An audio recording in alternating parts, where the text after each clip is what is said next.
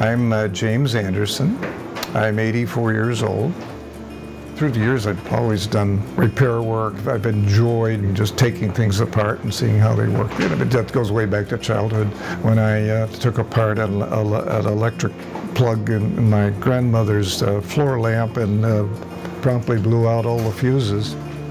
I'd had a computer since the days of what we call then uh, transportable computers, a luggable computer, weighed as much as my wife's sewing machine that I carried around. So I've, I've had owned a computer since probably the mid 1980s, and I've always been interested, used them, although I'd never been a um, you know an IT person at all, never had any training in it. I work at Free Geek. I learned about Free Geek from my uh, friend Bob, who was a neighbor. I had just returned from um, uh, working for 13 weeks in Zimbabwe. I saw the need for computers among young people who were studying and who uh, seemed deprived to me of the opportunities that computers offered them. So when I heard about Free Geek and its program of uh, receiving donations of used computers and the possibility that through rebuilding them I might be able to um, provide computers to some of those young people.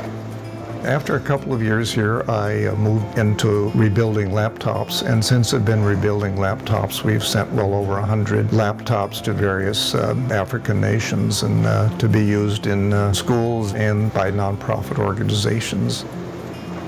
Free Geek makes a huge point of being open source.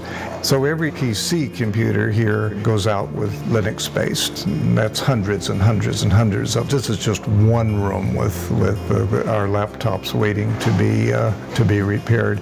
All of these that are working will go out with Linux based operating systems.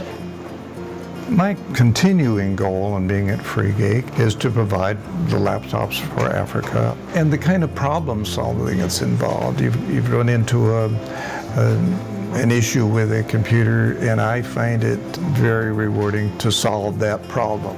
I like the tinkering, but above all, I just simply enjoy the community. It's an unusual place and the results are very rewarding. So as long as I'm able, well, I think I will be here on Fridays, uh, as long as they'll let me, and I have no indication that they won't.